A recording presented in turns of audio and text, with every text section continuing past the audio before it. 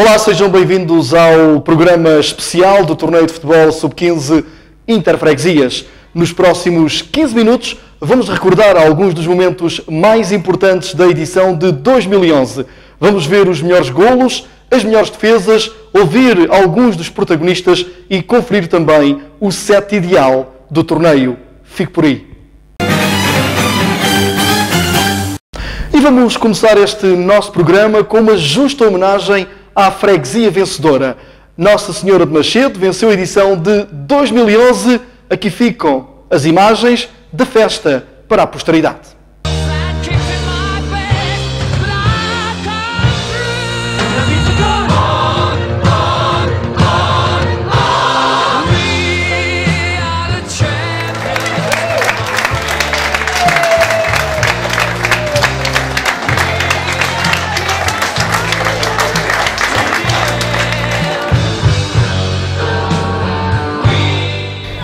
Nós tínhamos a confiança que íamos ganhar.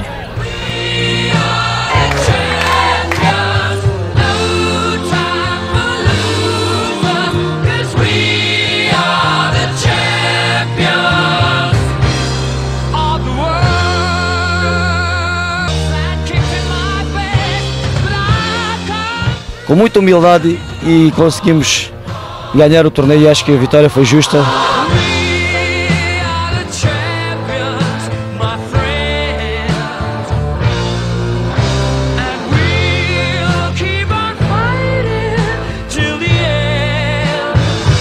Dedicação, humildade, espírito de equipa do princípio ao fim.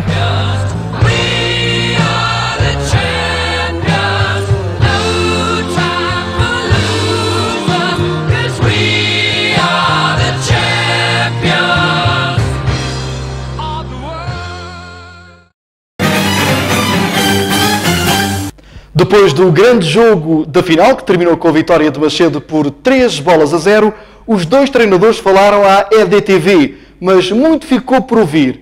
Ora veja. Dar os parabéns ao Macedo, que foi, foi a equipa que, que conseguiu concretizar as, as oportunidades de gol. Acho que o jogo foi dividido, foi, foi um jogo equilibrado entre duas boas equipas e só tenho de dar os parabéns ao Macedo que conseguiu finalizar da melhor forma. Este torneio o torneio voltou, acho que esta, esta situação do flash interview também melhorou bastante também o entusiasmo à volta do torneio, da competição.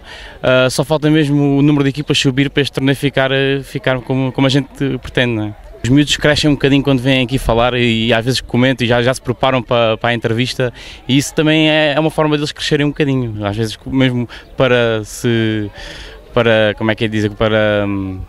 Um, desenvolver e começarem a perceber também. Exatamente, as ideias e tentarem ser sensatos na altura de falar sobre o jogo, isso é importante para o crescimento deles. É, juntaram-se talvez as duas melhores equipas do torneio. Foi uma excelente propaganda para o futebol, acho que para um torneio interfreguesias foi um grande jogo de futebol. Uh, um jogo muito difícil para a nossa equipa, mas nós encaramos o jogo com, muito, com muita humildade e conseguimos ganhar o torneio e acho que a vitória foi justa e de qualquer maneira uns parabéns também à equipa da Malagueira. Um torneio que talvez eh, à partida a Nossa Senhora não tivesse como principal candidato, mas como dizia aqui o Farinho e os vossos jogadores também, muita humildade e espírito de sacrifício e da equipa também. Sim, nós não éramos candidatos a um dos candidatos porque as freguesias urbanas têm mais possibilidades, têm mais soluções no banco que nós. Mas nós entramos neste torneio sempre com, com uma esperança e, e, a equipa que tínhamos, andamos, não, não declarámos muito, andamos sempre na retaguarda, mas tínhamos uma, uma esperança que isto acontecesse e aconteceu. Em seis jogos realizados, a freguesia de Canaviais não registrou qualquer cartão ao longo deste torneio. Mas se dentro de campo os seus jogadores foram os campeões da disciplina, fora dele foram os campeões do fair play. Ora, veja porquê. Correu bem para a outra equipa, para a gente sempre. Muito trabalhoso. Foi. Foi muito trabalho. O que é que se passou hoje então para se, para se perder este jogo? Não sei. Desconcentração, talvez. Mais ou menos não correu a 100%. Podia ter corrido muito melhor. Depois, logo ao início tivemos duas, mas depois. Foi um, foi um jogo renhido, podíamos ter marcado dois ou três golos, só que o guarda-redes deles é, é bom guarda-redes, vai o melhor das freguesias, se calhar. Acho que foi um, um, bom jogo das duas equipas. Eu acho que o jogo hoje correu, correu normal. Ali ao princípio entramos a dormir, mas depois começámos a melhorar. Acho que foi bom. que jogámos bem. Depois agora no final também começámos a jogar bem. Acabamos por marcar uns golos. Quando há esforço e humildade, tudo se faz. Fixe bem esta frase, já que ela vai sair da boca do jogador mais jovem deste torneio. Nasceu a 16 de junho de 2000. É jogador de Nossa Senhora de Machede e falou assim à EDTV. Como é que chamas? João, João, sabias que és o jogador mais novo do torneio? sim. O que é que dizes? Digo que quando há esforço e humildade, tudo se faz. Vais jogar futebol? Sim. Como é que correu o torneio para a tua equipe? Ah, bem, acho que a gente estávamos em vantagem e íamos conseguir ganhar. E agora tens muitos anos ainda pela frente, não é? Queres ser jogador? Gostava O que é que tens a dizer aos teus colegas? que eles também fizeram muito esforço e também mereceram este prémio. Foi o melhor marcador da sua equipa e também deste torneio. Senhor de um bom pé esquerdo, rápido, inteligente e finalizador. Gonçalo Farinha. Atente-se nas imagens dos golos que ele conseguiu ao longo deste torneio, mas chama a sua especial atenção para a entrevista deste jovem jogador acabadinho de sagrar campeão.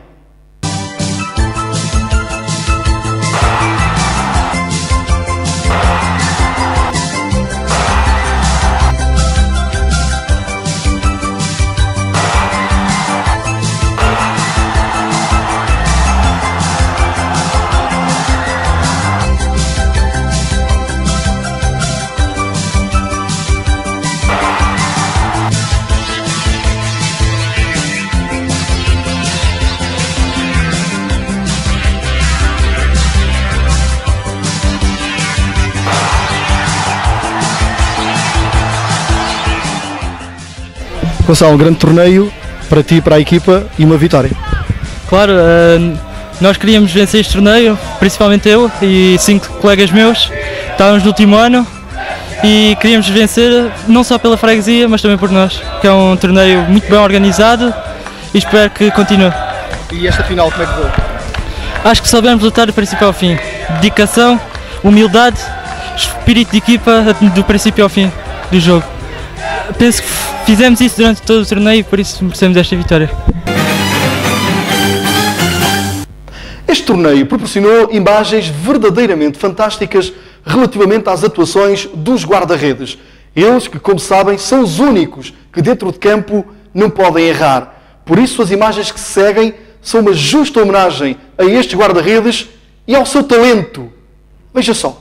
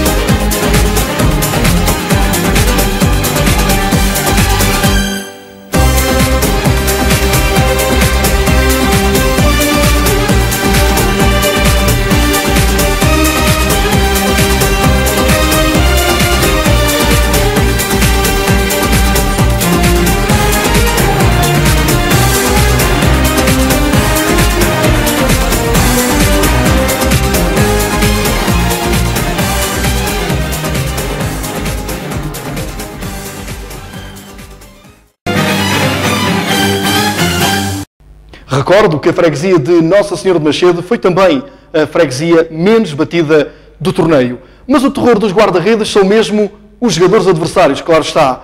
Por isso, as imagens que se seguem mostram o talento e a magia de alguns dos elementos que compuseram as freguesias que participaram neste torneio 2011. Repare bem nos fantásticos golos alcançados, quando de facto há qualidade e inspiração, não há muito a fazer por parte dos guarda-redes.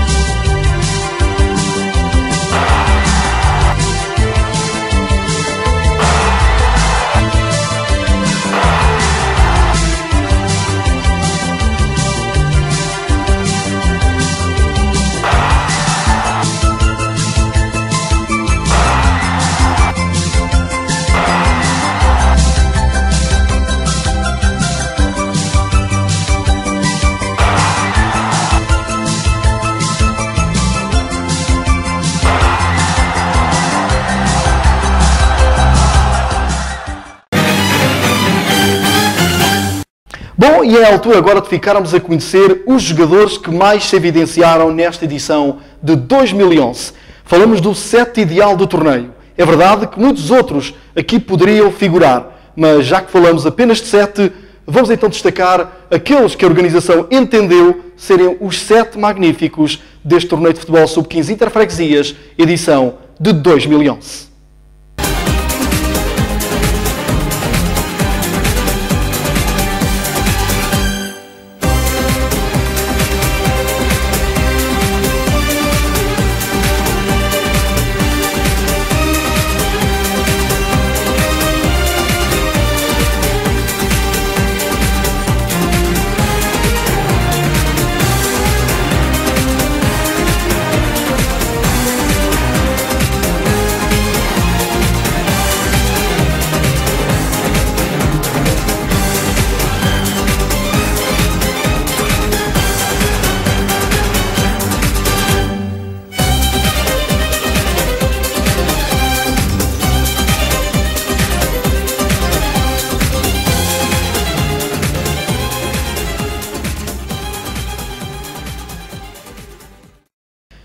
Pronto, agora sim está praticamente tudo dito e visto relativamente a esta edição de 2011 do Torneio de Futebol Sub-15 Interfreguesias. A Câmara Municipal de Évora quer agradecer a todas as freguesias, a todos os clubes e particulares que, direto ou indiretamente, estiveram envolvidos nesta grande organização.